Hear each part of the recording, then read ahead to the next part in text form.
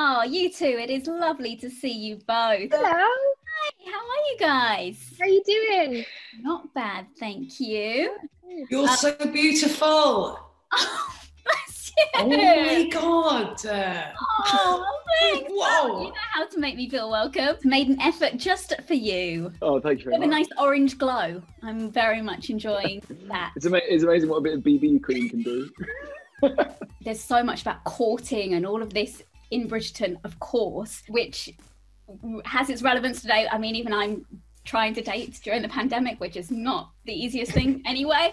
But I figured I would get a bit of dating advice from you guys. What do you think is the, the most romantic thing a guy can do while he is courting a lady? Like in here, obviously, Daphne wants, you know, flowers or she wants him to do up his, her, you know, her cuff and things like mm. that. What, what would you say is your, your best dating advice? I'd be happy if a man buttoned my cuff. I'd be very happy if a man buttoned You my just cuff. made that sound like some innuendo.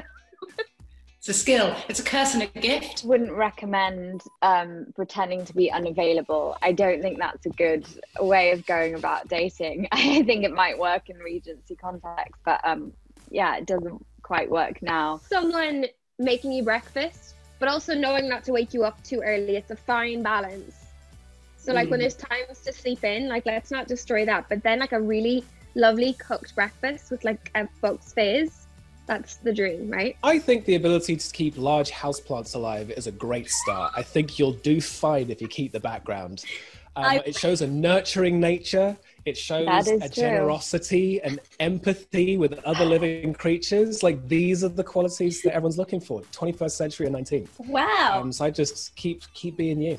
Okay, well, this is going on my Insta story so that you know, I have that uh, that nurturing side. What's the most romantic thing? I think the most romantic thing is just to be completely honest. I think that's where romance exists. I think that's what also Bridgerton explores. I think the uh, the idea of having to uphold uh, a version of yourself or to be presentational in in how you feel about someone. I think the moment that you you let all that drop and and you can just be present with someone. I think that's for me that's the romantic one. That's a very earnest response, but That is, that is like Regé told me that keeping massive houseplants alive was a good way of. Uh, classic Regé. He's going he's going in with the charm. Is He he, won like you that? over. Is he like that on set? Is he genuinely just a bit? I- only in front of amazing people. Melissa, you've been snared. I mean, I was I was completely swept up in in. Yeah.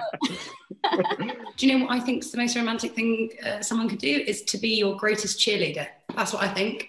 Someone who's like, yeah, my God, you're just so amazing. Keep being amazing. Like that's what I think would Okay, be the yes, best I love yeah. that. Big cheerleader. I think just being open and and like just yeah, laying it well, maybe not all on the table, but but being open. Make sure the table's God. stable. Yeah. Um yeah, I probably am not the best person to ask either at the moment, but um yeah, just being open and yourself and I think that's the, always the best way. That would be something that would be quite interesting to bring forward to 2020. That if you could go on a night out and then the next day all the people that fancied you on the dance floor came round to your house and brought you gifts, I think that'd be quite great. Yeah. I mean, they'd all they'd all probably be a bit like sort of slow talking and a bit hungover, with a bit of McDonald's breakfast hanging out their mouth. But you know, if they brought some chocolates or you know uh, Yeah. an egg egg butty, it'd be good. Oh, I'm so I'm so for bringing these uh, traditions from Bridgerton into modern society. That would be wonderful. Yeah, let's do it.